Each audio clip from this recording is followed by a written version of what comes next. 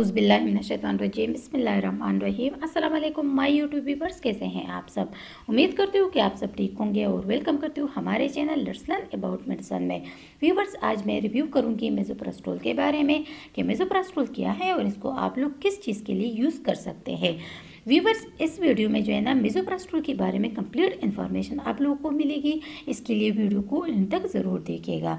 अच्छा व्यूवर्स आते हैं अपने ड्रग की तरफ़। तो व्यूवर्स ड्रग है हमारे पास मेजोप्रास्टोल तो व्यूवर्स मेजोप्रास्टोल हमारे पास एक ऐसी ड्रग है जो हमारी रोज़मर्रा यूज़ की नहीं है, लेकिन बहुत मुफीद है उन लोगों के लिए जिनके मैदा में जहम हो। अगर आपको अल्सर हो गए हैं या आपका मैदा जलता है आप जो है ना खाना नहीं खा सकते या आप बहुत ज़्यादा तेज़ाबियत की वजह से आपकी ज़िंदगी बहुत मुश्किल हो गई है तो मिसोप्रस्ट्रोल इसमें बहुत ज़्यादा मुफीद है। अच्छा व्यूवर्स अब आते हैं इसकी डोजेज की तरफ़। तो व्यूवर्स ये टैबलेट्स के फॉर्म में अवेलेबल है। 100 एम और 200 एम के इसके टैबलेट्स अवेलेबल है। व्यूवर्स अब आते हैं इसकी यूजेस की तरफ़ कि इसको जो है ना आप लोग किन कंडीशन में यूज़ कर सकते हैं। तो व्यूवर्स इसको आप लोग स्टमक अल्सर के लिए यूज़ कर सकते हैं। कुछ लोग जो है ना इसको प्रेगनेंसी टर्मिनेशन के लिए भी यूज़ करते हैं।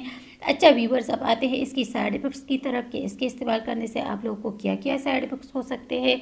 तो व्यूवर्स इसके इस्तेमाल करने से आपको हेडेक हो सकता है एबडामिनल पेन भी हो सकता है वॉमिटिंग भी हो सकती है और डायरिया भी हो सकती है। तो इस तरह के कुछ साइड इफ़ेक्ट जो है ना, आप लोगों को हो सकते हैं।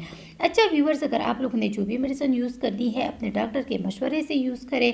व्यूवर्स अगर आप लोग को वीडियो पसंद आई हैं, इससे आप लोगों ने हेल्प हासिल की है तो वीडियो को जो है ना लाइक कीजिएगा शेयर कीजिएगा और अगर चैनल को सब्सक्राइब नहीं किया है तो हमारे चैनल लर्सन अबाउट मेडिसन को ज़रूर सब्सक्राइब कीजिएगा और अगर बिलेकान को नहीं दबाया है तो बिलेकान को ज़रूर दबाइएगा ताकि मेडिसन से रिलेटेड जो भी इन्फॉर्मेशन हो आप लोग तक पहुँचती रहे। थैंक यू व्यूवर्स अल्लाह हाफिज़